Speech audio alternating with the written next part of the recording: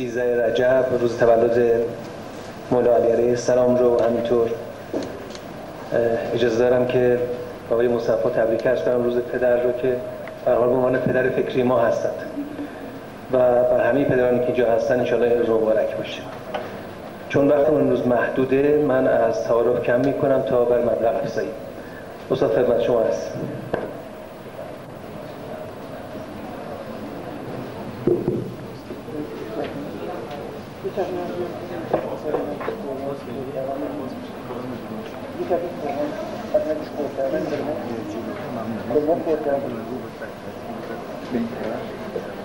یکیشون کردن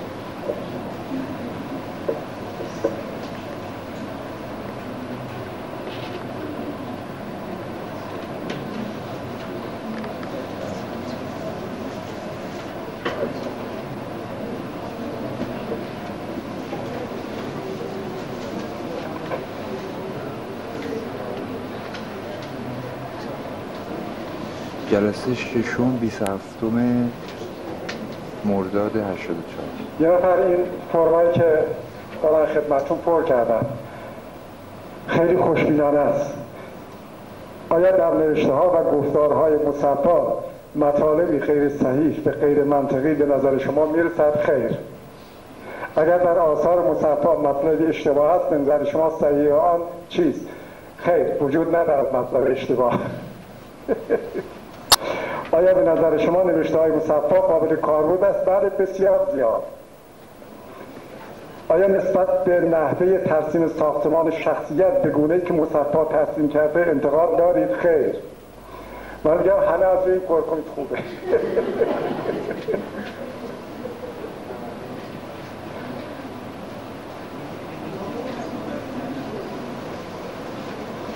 خب. که فردا میلاد حضرت علی علیه السلام و روز پدر ما هم از پدری هم رد شدیم و پدر بزرگم شدیم. روز ما مرد هاست من چند بار می‌خواستم راجع به یه موضوعی صحبت کنم که یه مناسبت های حساسی پیش می آمد. مثلا می‌خوام راجع به این موضوع صحبت کنم که چرا ما انسان های هویت فکری باید مناسبتمند باشیم. همه چیزمون بر این اساسه که امروز روز تولد حضرت علی ما باید شاد باشیم فردا روز, روز شهادت حضرت علی باید غمگین باشیم امروز روز نیکوکاری ما باید نیکی کنیم. امروز روز مهرورزی یک روز به خصوصی که باید مهر بورزیم نسبت به آیا ما نباید درونمون یک کیفیت خودجوشی وجود داشته باشه که وابسته به عوامل برونی و مقطعی نباشیم؟ وابسته به این نباشیم که امروز روزت به خصوصیه. حضرت علی انسانی بالا و بزرگ بود. خب آیا من که تولد ایشون رو جشن می‌گیرم؟ بزرگی ایشون رو جشن می‌گیرم؟ یعنی که حضرت علی یا امام جعفر صادق اینها کیفیت های اخلاقی بزرگی داشتن. حالا آیا من خود یک فرد رو بزرگ می‌دونم؟ صداقت امام جعفر صادق رو تجلیل می‌کنن یا خودش رو؟ بدیهی که باید صداقت رو تجلیل کنن. امام جعفر صادق یا حضرت علی علیه السلام از نظر فرم صورت فیزیکی مثل یک انسان بودن. اون چیزی که اونها رو کرده حضرت علی و قابل تجلیل اون صفاتشونه. آیا ما صفات اونها رو واقعا می‌شناسیم. آیا من که خودم رو شیعه امام جعفر صادق می‌دونم واقعا شایستگی این شیعه بودن رو دارم؟ آیا راستگو هستم؟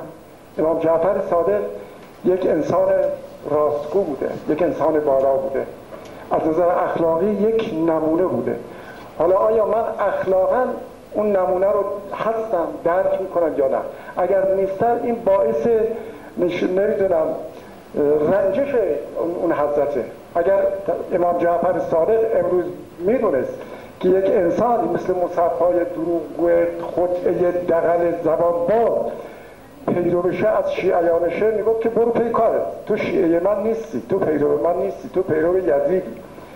این چه پیرویه که من ظاهرا میگن که شیعه امام جعفر صادق و شیعه ابن ولی هیچ کدوم از صفات اونها رو ندارن. یک روزی با یک آقایی که این کتاب رو خونده بحث داشتیم و داشتیم تلویزیون نگاه می‌کردیم. او به مناسبت اینکه من خوشم نمیاد از یعنی میانه ای ندارم با مطالب تلویزیون صدای تلویزیون رو گرفته بود. و یه عده‌ای داشتن صحبت می‌کردن. او از من سوال کرد گفت که می‌خوای صدای تلویزیون رو بلند کنید تا بشنویم اینا چی دارن میگن؟ گفتم اینا هر چی بگن دروغ میگن.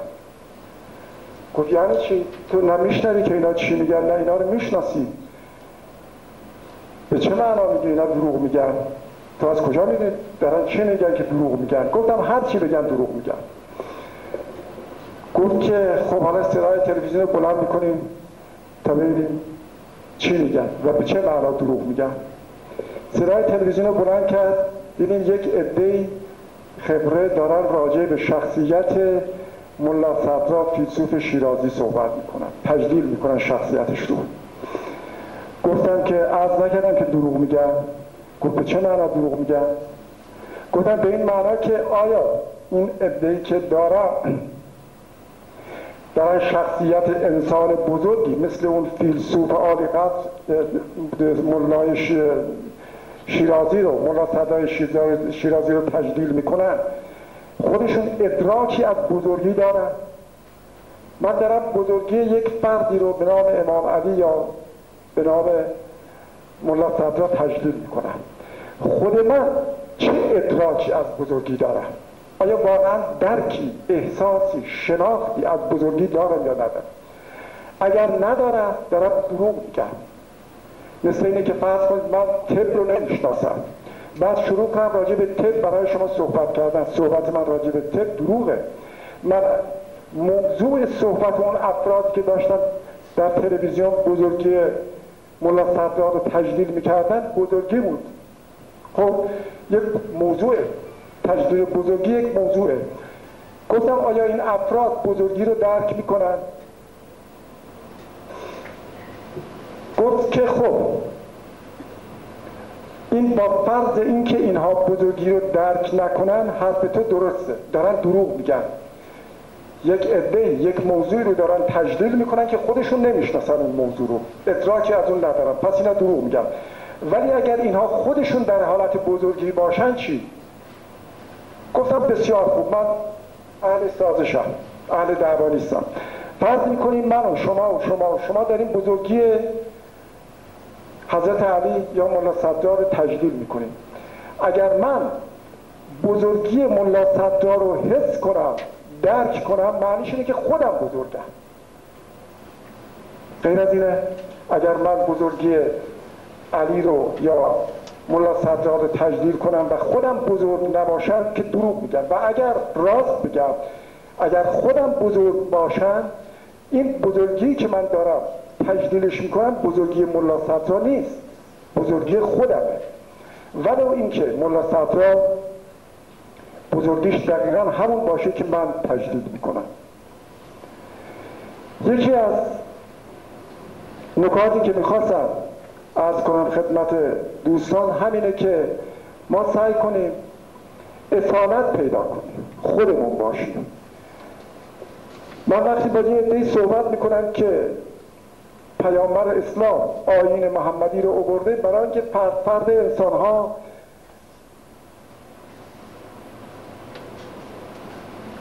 گرایش پیدا کنن به این آیین.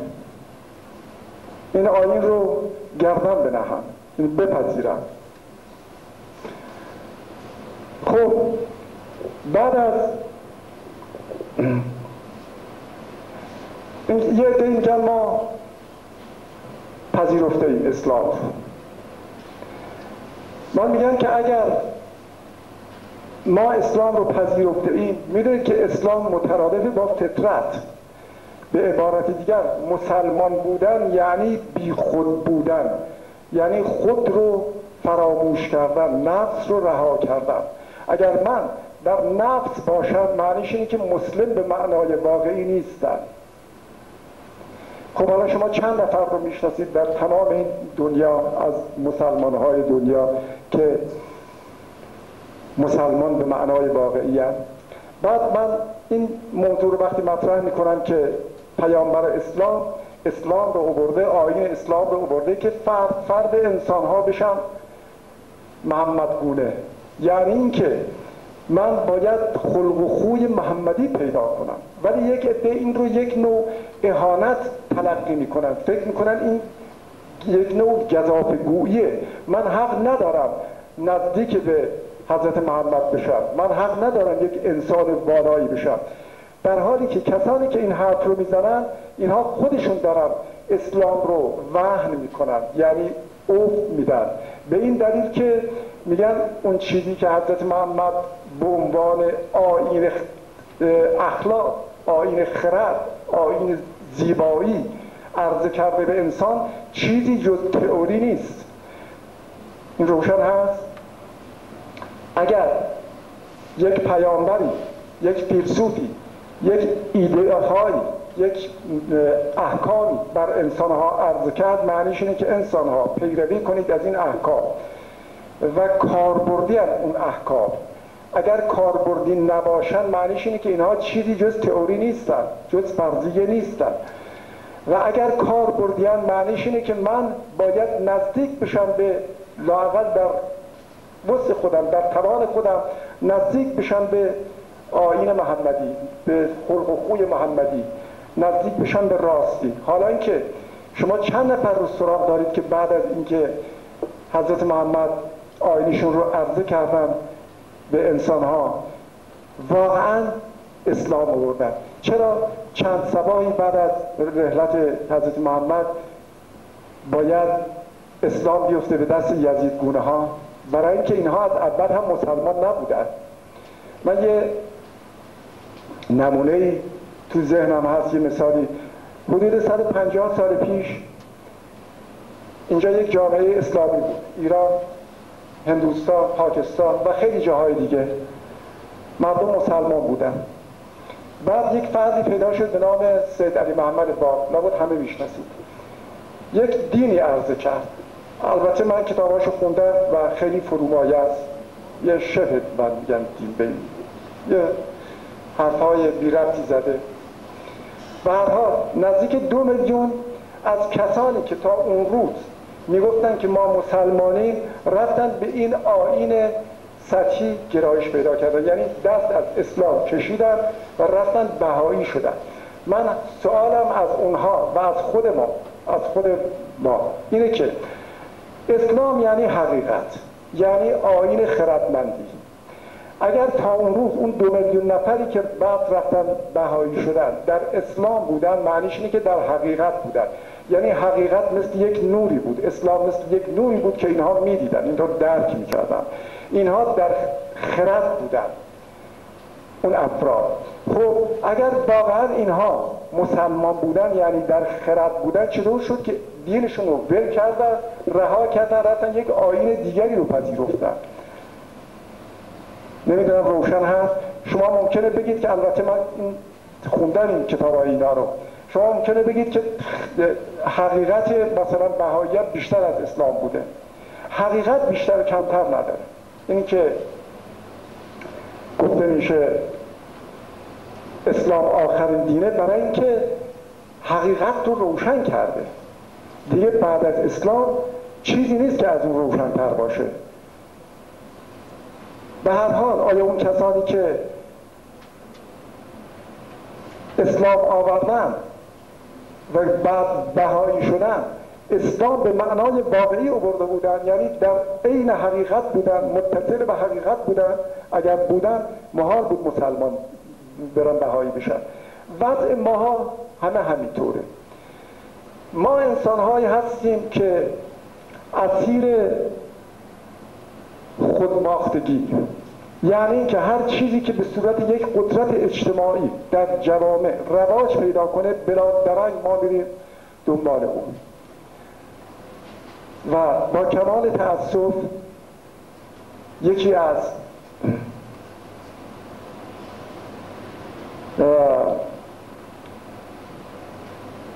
خودباختگی هایی که ما اسیر شدیم خودباختگی به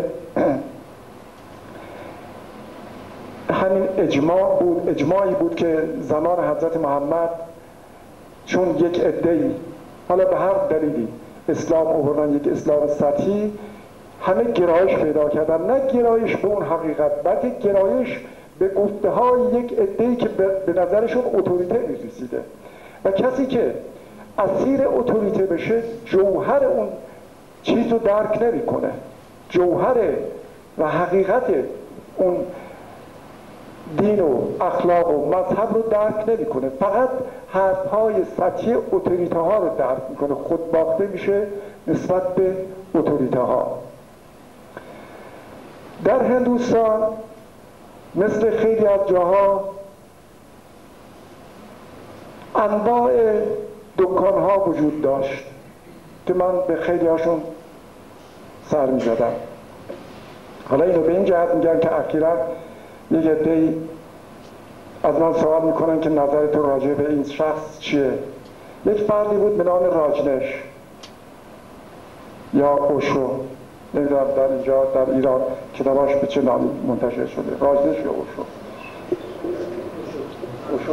بله. این کتاباش ترجمه شده به فارسی. من در هندوستان خود این شخص رو دیدم.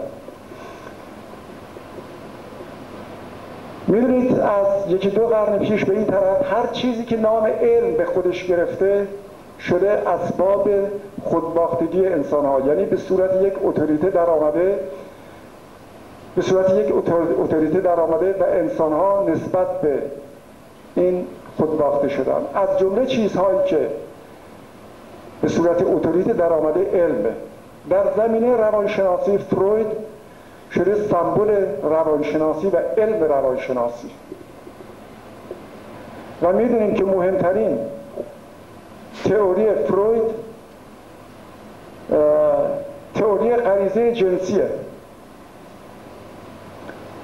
حالا این آقا این اوشو یک مقداری حرفهای حسابی هم داشت ولی آمده بود برای اینکه ثابت کنه که من تئوری ها علمیه این مسئله تئوری غریزه جنسی رو کرده بود اسباب دکانش اسباب دستش کرده بود و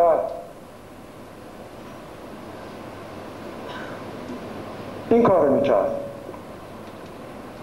پسرها و دخترهای جوان رو می‌کرد توی اتاق و یه مبصر هم داشتن هر دو نفری. اینها رو اوریان می‌کرد. وقتی اینها به اوج غریزه جنسی می‌رسیدن اون مبصر به اصطلاح یه با یه شلاق می‌زد پشت اینا و می‌گفت که و نمیذاش که اینها عمل جنسی انجام بدن. دوباره آرام می‌گرفتن. یعنی اینا آرام می‌گرفتن دوباره تحریک می‌شدن هیجانی می‌شدن دوباره شلاق می‌زد پشت اینها که آرام بگیرن. و از فروید این رو تقلید کرده بود که می‌گفت این علت ناهنجاری های انسان خشمه. و علت خشم سرکوب سرکوبی قرایز جنسیه. و حالا من اوشونی گفت من به این طریق این غریزه شما رو از یک طرف تحریک می‌کنن از یک طرف تا خشم شما تخلیه بشه از این طرف نمی‌ذارم ارضا بشه. برای اینکه اگر ارضا بشه بلافاصله دوباره خشم جاشو می‌گیره. بارها و بارها خشم رو تحریک می‌کرد تخلیه می‌کرد تا آرام بگیرن انسان ها آیا به نظر شما واقعا مسئله انسان خشمه؟ من حالا این چیزهایی که دارم این فرمی که دارم پر کنید به نظر که از سوالات اینه که آیا به نظر شما مسئله انسان اینهایی است که من تشریح کردم توضیح دادم؟ آیا این مسائل درسته؟ من می‌خوام بگم که نه نسبت به مصفا خود باخته بشید و کورکوران اینا رو پر کنید و نه نسبت به فروید و نه به پدر بزرگ فروید. به هیچ انسانی خود باخته نشید. حضرت محمد و حضرت علی از ما انسان ها خواستن که آزاده باشیم. حتی به اونها خود باخته نباشیم. آنها سرمشق فضیلتن سرمشق اخلاقن ولی نه اینکه ما از آنها اتوریته بسازیم سرمشق قرار دادن غیر از اتوریته ساختنه. من یک جایی این توضیح رو دادم. اگر حضرت علی علیه السلام در هر روز صد تا عمل انجام می‌دادن به فرض اینکه من اون صد تا عمل رو عینا مثل ایشون انجام بدن من حضرت علی نیستم. برای اینکه صد تا عمل ایشون از یک شخصیت مرتبط و منسجم نشأت گرفته. ریشه در یک ریشه در فطرتش داره. ولی مال من ریشه در یک فرد دیگری داره. من دارم کپی برمیدارم. من به فرض اینکه بتونم تا عمل حضرت علی رو عین او عین ایشون انجام بدم من یک کپی بردار موفقم.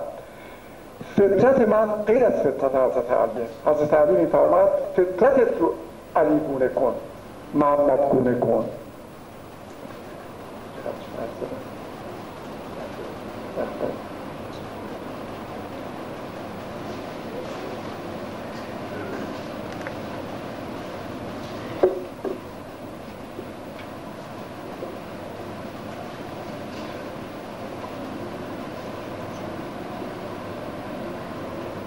یکی از سوالاتی که من فراموش کردم که مطرح کنم اینه که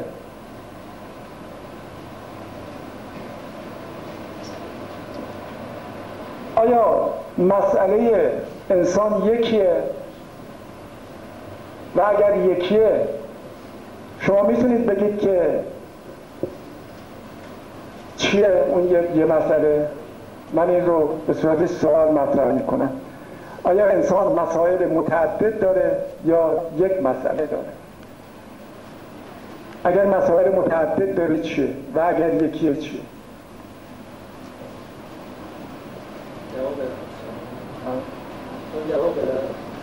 به نظرم جواب بدن رو کاغذ بنویسن هیچ کس نیست که بتونه جواب بده که آیا مسائل انسان یکیه؟ اگر یکیه چیه؟ و آیا چند تاست؟ و اگر چند تاست چیه؟ چه مسائلی انسان داره؟ بنویسید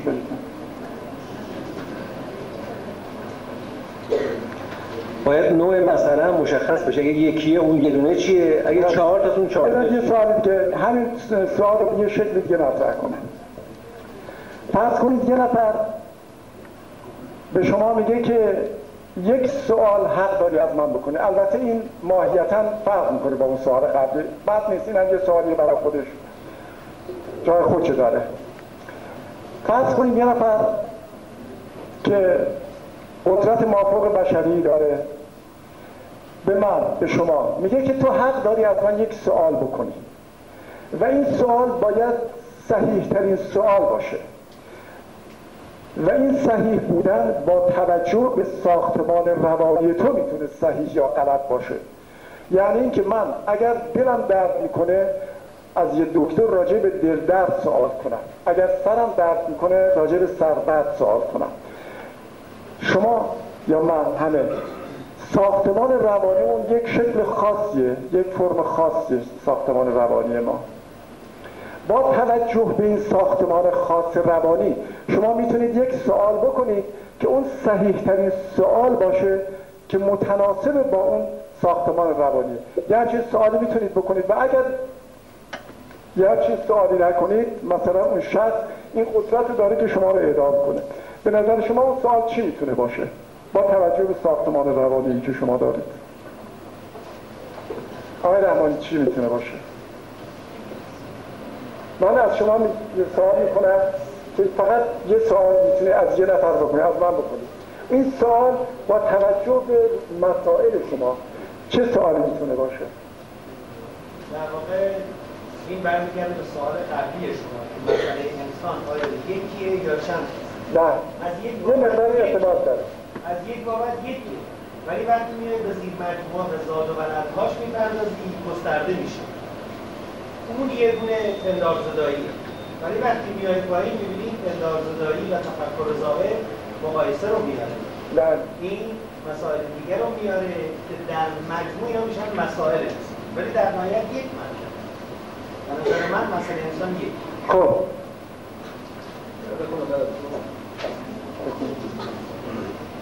اغلب دوستان اشاره کردن که یکیه چند تا نیست. متا هر کدوم چون یه چیزی گفتم میشه چند تا خب این هم روشن کنید که چیه؟ حالا می‌خونم براتون. دوستی نوشتن که مسئله انسان یکیست و آن فقط رسیدن به ماهیت فطرت و خداشناسی است خب این که خیلی یکی کلیه خب. این خیلی کلیه. مسئله مشخصا چیه؟ دومیشو بخونم؟ دومیشو مسئله انسان توهم است. اینم یکی. سومی. مسئله انسان جهل عدم آگاهی و خودباختگی است. حالا هست. گوش کنید. جهل و توهم خوبه. خودآگاهی. مترادفن جهل و توهم هم مترادفن خوبه. نه. به نظر من مسئله انسان خوده. اینم یه یه مقداری کلیه یکی از خودباختگی های ما انسان ها اینه که فکر می‌کنیم هر چیز در عرفان سنتی آمده صحیحه. من فکر می‌کنم این که در عرفان سنتی اینقدر از خود صحبت کردن این یک زیان بسیار بزرگ یک گمراهیه. یعنی موجب فریب انسان ها میشه که خود رو مطرح کنیم. اصولا پدیده به نام خود وجود نداره. اگر در کودکی مادرم به من گفت که تو بچه بی ارزه ای هستی یا گفت تو متشخص هستی اگر گفت تو حقیر یا نمی‌دونم با شخصیت هستی آیا به صرف القاء مادرم که یک عامل برونی من صاحب پدیده ای شدم به نام یک خود متشخص یا حقیر آیا خودی در من شکل گرفته؟ اون چیزی که مادر یا عمه یا هر کس محیط اجتماعی به من القا کرده در کودکی اون فقط یک توهم بوده. وقتی مادرم به من گفته تو حقیری فقط ذهن من رو اسیر توهم کرده. نه چیزی کمتر نه چیزی بیشتر. خب. اغلب دوستان من نگاه می‌کنم بیشتر همون حرفای کتاب رو تکرار کتاب ها رو. ببینید من دوباره براتون می‌خونم اینا رو. مثلا یه دوستی گفته که مسئله انسان جایگزینی الفاظ و تعابیر به جای ذات مسائل هست. از تفکر زاید. ارزم حضورتون که دوستی گفته مسئله انسان واکنش نشان دادن به پدیده های زندگی است. واکنش. واکنش گرایی یه موضوع جدیدیه که تمام هستی ما واکنشیه این که من الان اینجا نشستم. حالت به خصوصی ندارم. بعد حالتم به این شاد میشه که شما کف بزنید. یه لذت می‌برد کف بزنید. یا اینکه بگید که عجب مزخرف مثل جمعیت بلند مثلا بره بیرون بگید که این مرد چقدر شعر و داره میگه اگر پاشید برید و بگید این چقدر شعر و میگه من غمگین میشم. اگر کف بزنید شاد میشم. آیا این هستی واقعا قابل زیستنه؟ آیا این بدبختی نیست؟ زنده به گوری نیست؟ که من تمام وجودم وابسته به این باشه که برام کف می‌زنم یا میگم چقدر مزخرف میگه. این یعنی واکنشی بودن.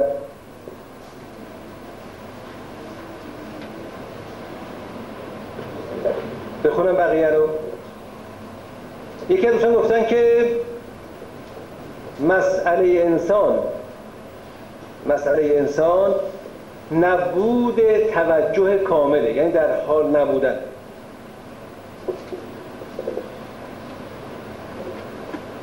بعد یکی دیگه گفتن که به نظر بنده مشکل بشریت واکنش نبود. این توجه. توجه در حال بودن.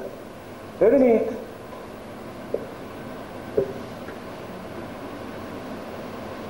خیلی مشکله که انسان مسئله رو پیدا کنه. این کلیده. اینکه انسان توجه نمی‌کنه توجه نداره این در حقیقت یک طریق برای رسیدن برای وانهادن اون چیزی که به نام خود می‌شناسیم. خود مسئله چیه؟ رنج تو انسان چیه؟ بگیم رنج. تو چه رنجی داری؟ برای چی آمدید اینجا؟ برای چی کتاب تفکر زاده می‌خونید چه رنجی دارید که این کتاب رو می‌خونید؟ مسئله چیه؟ آیا مثلا اینکه شما در توجه نیستید برای یه رنج اون رنج نیست؟ خب. یکی دوست دیگه دوستان نوشتن که عدم شناخت عشق هست. مشکل بشریت نشناختن عشق هست. عشق شناختنی نیست. عشق کشف کردنیه. فطرت کشف کردنیه. یکی از کیفیت های وجودی نهفته در فطرت حالت عشقه.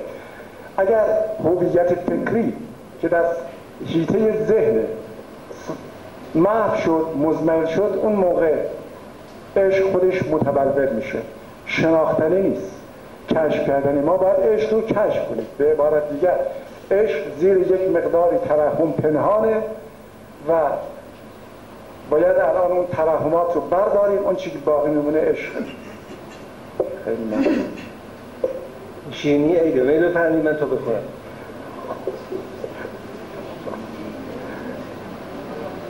برای دوستان بیرون آماده است. حالا بعد جلسه می‌خورم. برای همه میارم حالا شما بفرمایید. خب یکی دوستان نوشتن بیشترین مشکل من ترسه. ترس.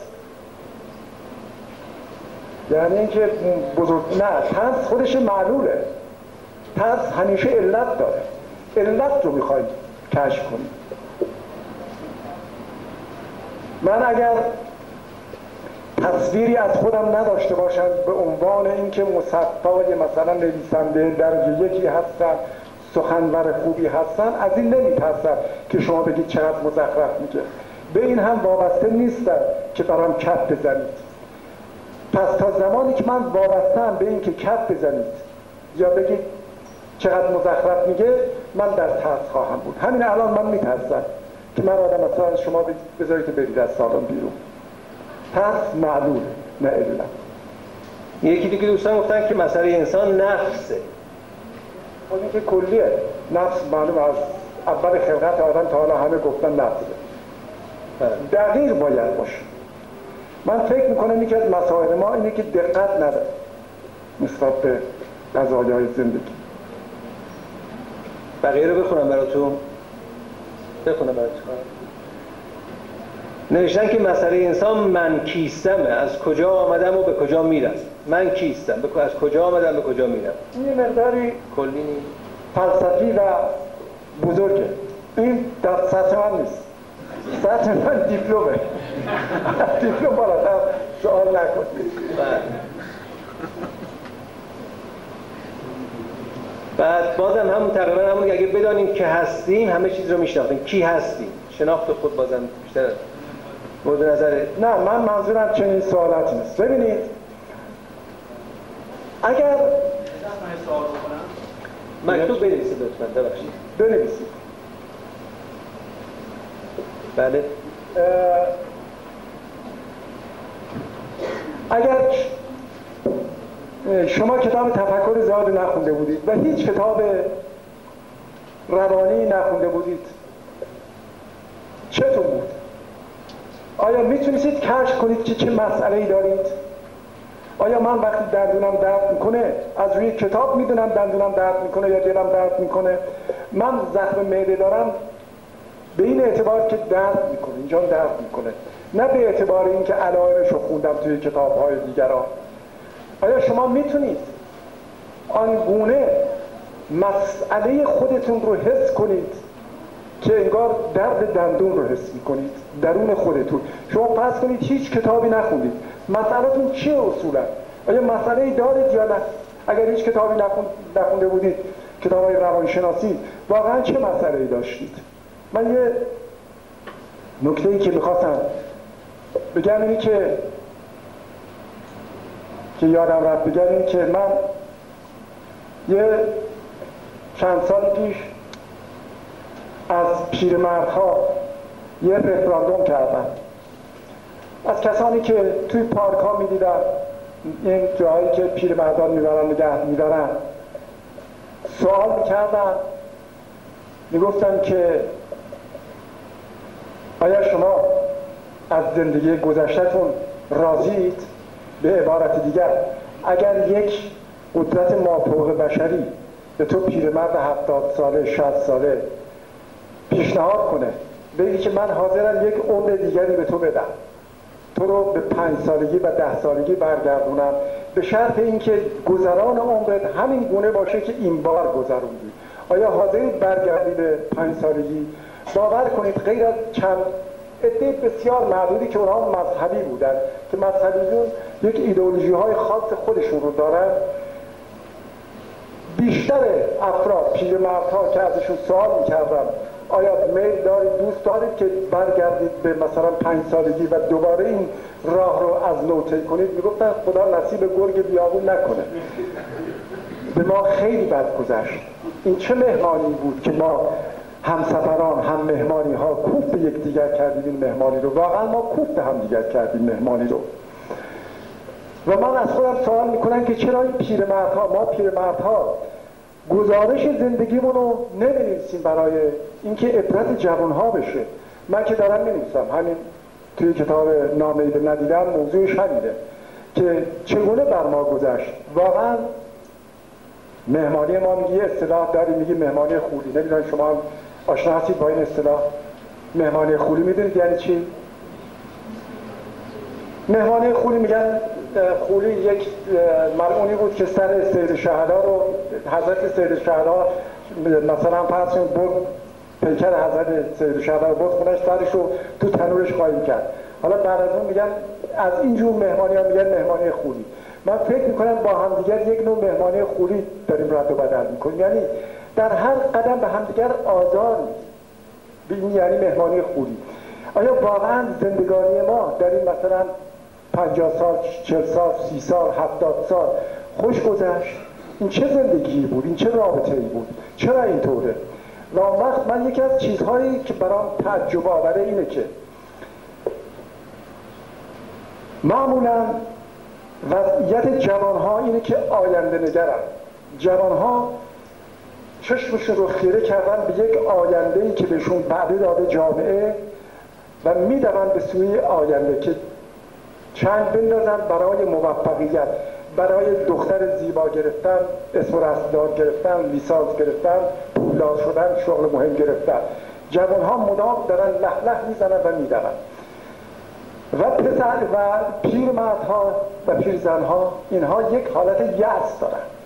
یعنی معمولا نگاه می‌کنن به عقب و می‌بینن که تمامش قبل بوده خسران بوده پوچی بوده. یکی از بزرگترین بدبختی های ما احساس فریب خوردگیه ما وقتی به گذشته برمیگردیم می‌بینیم که همش فریب بوده. جامعه ما رو فریب داده. و من از خودم این رو سوال می‌کنم که چرا پیرمردها با وجود اینکه می‌بینن دیدن که همش گذشتهشون بدبختی و فریب بود. چرا تجربهشون رو نمیدیسن برای اینکه برای جوانها تجربه بشه؟ من فکر می‌کنم مهمترین علتش اینه که جرأت نمی‌کنن به خودشون حتی اعتراف کنن که زندگی ما در فریب گذشته. نمی‌دونم شما توجه دارید که یکی از حساسیت های مهم ما اینه که از اینکه فریب بخوریم وحشت داریم از اینکه یک پسری مثلا دختر منو فریب بده وحشت دارم. و خودم تمام نقشه های روزانه صرف این میشه که چگونه دیگران رو فریب بدم. شما فکر می‌کنید اینکه من دارم سعی می‌کنم پولدارتر بشم؟ انگیزه پشت نهفته در پشت این چیه؟ این که من دارم تلاش می‌کنم تا کتابی بهتر از کتاب فلان کس بنویسم چرا انگیزم چیه؟ برای اینکه می‌خوام غرور به زرنگتر بودنم رو ارضا کنم. چون میل فریب دیگران دارم. میل دارم از دیگران تواناتر باشم. دوست دارم وضعیتی پیش بیارم که دیگران در محرومیت نگه دارم. چون اگر دیگران رو در محرومیت نگه دارم از طریق مثلا فریب دادنش من تواناتر از او هستم. و یکی از چیزهای عجیب اینه که بیشتر مشتری های ما جوان ها هستن بیشتر مشتری کتاب مثلا تفکر زاهد اینا به جایی که پیرها باشن جوان ها هستن. من میگم جوان ها معمولا چشمشون رو به آینده دوختن و دارن می‌دونن به سوی آینده. در حالی که پیرها در یأس دارن به گذشته نگاه می‌کنن و در یأس دارن میگذرونن. اونها باید بیان ببینن چیکار می‌تونن بکنن.